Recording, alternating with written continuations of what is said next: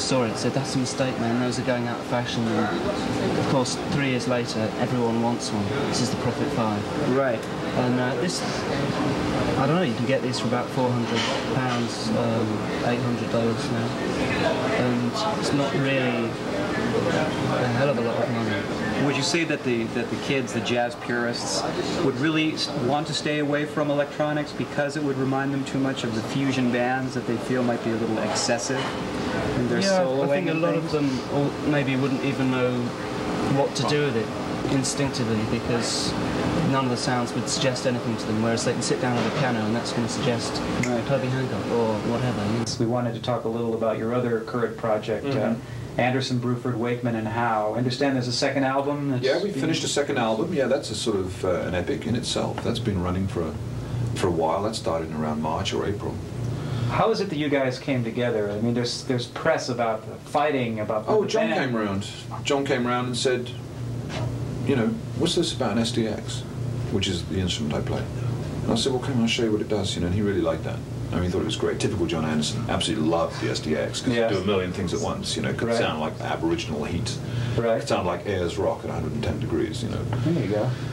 And uh, so he said, that's nice. And I, I, th- I thought at the end of that conversation I was going to play on one of his solo records.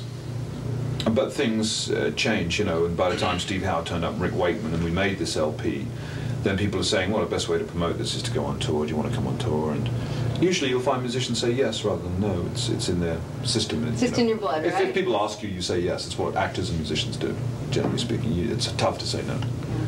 There wasn't any animosity or anything within No. the band after, or let's say a, a sense of not being together after all this time. Oh, I, you know, I don't know. I Can- take can- it I can we do it again? You know, Can I'm. I'm not going to go out and collect Rick Wakeman I mean, you know, it's not my style. But I mean, I He says he has 24 solo albums. I was. I take I take a guy as I find him. You know, uh, if he's there at the session and he can play the music and he can stand up straight and he sounds good, which Rick does, and can do all those three things.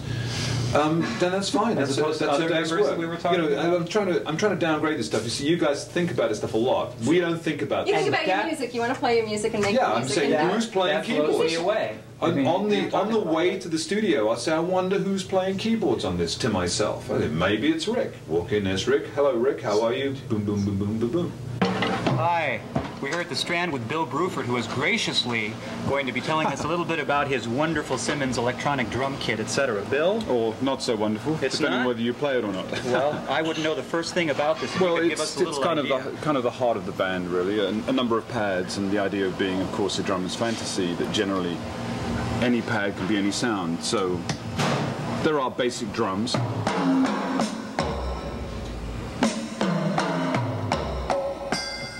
But all that stuff can change fairly easily if I select another patch over here.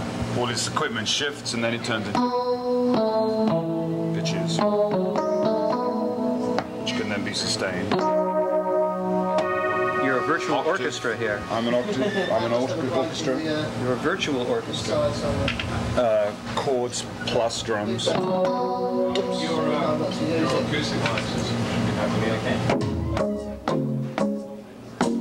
Sounds like Stromboli kicks. Correct. And And these patches can be shifted via a, a little foot pedal here, which allows me to shift through them. So we have.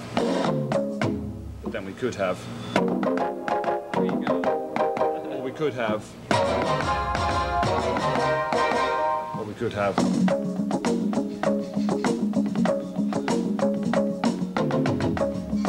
Or we could have.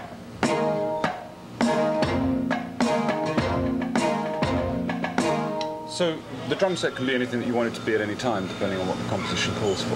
this is really amazing. When you says uh, zone intelligent, is that sort of posing itself as being such an intelligent piece of Uh, work? yeah, I mean, this this reads information across the pad Uh-huh. as well as under velocity. The harder you hit it, different things happen.